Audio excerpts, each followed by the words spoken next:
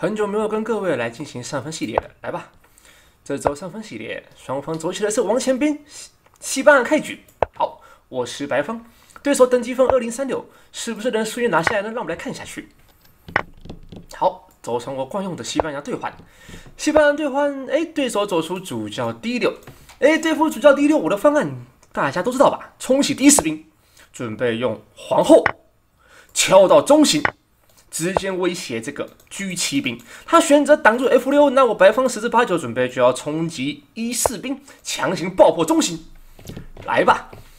对手会走什么呢？好，爆破中心，对手是否撑得住吗？他如果选择主教交换的话，那这个骑士就不能入堡，对不对？只要骑士不能入堡，黑方准备就要被我牵制了，这只骑士很快就会死在黑方的家里了。看来对手对这个开局似乎没有研究透彻，直接让我白方有个超级强大的中心后，尴尬了是吧？所以各位在这个局面下，跟各位棋友网友分享一下，哦，对手自杀了，简单获胜。好的，既然这么快速，让我们再来快速的来进行。对手这次是二一一七，二一一七的对手，我们来看一下他到底下什么东西。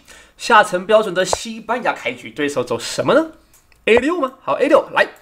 进行我们惯用的西班牙兑换，大家都知道吧？西班牙兑换现在保护一五兵的任务有四个人选择，他选择的是 G 四主角保护，然后逼他表态，他是否接受？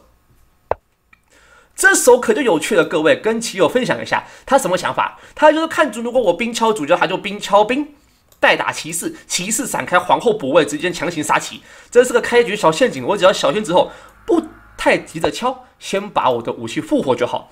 不要中陷阱就好，这个小事情，来吧，他会走什么呢？这个小骗招，想骗死呀他，小骗招，好，复活骑士，好的，他走错了，怎么说？各位，他可能想说我兵敲兵兵兵敲主教兵敲主教，骑士闪开，皇后补位带杀气，但是。当我只要冰球兵，他如果选择冰球兵，我就可以一个主教打先手。各位，那他是不是白白的送了一支武器了，是吧？啊，送了一支武器，没有任何补偿，他结束了，拜拜。这个二一七七先生，好吧，快认输了。二一七七先生开局简单送了一只主教，怎么还不认输呢？小骗招，主教放着给我吃。各位棋友，千万不要学他，这个也是很多棋友、很多网友、很多自觉的爱好者常常犯的一个失误，以为这个东西不能吃，但是没看清楚已经被吃了，是吧？好，他已经没办法了，开始试着想要破坏我的兵形结构。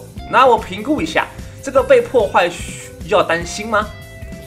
看来是不需要担心，因为主教将军我可以回弹拉骑士。骑士守主教，主教换光光，多了武器把你全交换光光。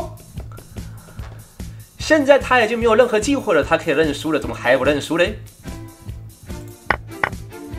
好的，只要他常入宝，直接再换后，把你全家换光，你就总可以认输了吧？啊哈，入宝了，来换后喽！全家换光光的时候到了。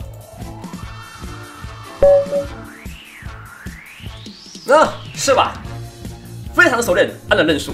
各位跟棋友讲一下，这个东西他想干嘛呢？他想骗什么事情？跟各位棋友分享一下。如果我选择小兵敲主教的话，他兵敲我，我骑士乱走的话，我举例一下，他准备后过来配合城堡，准备就要威胁底部一步杀底线闷杀黑方这个杀棋白方无解，但是。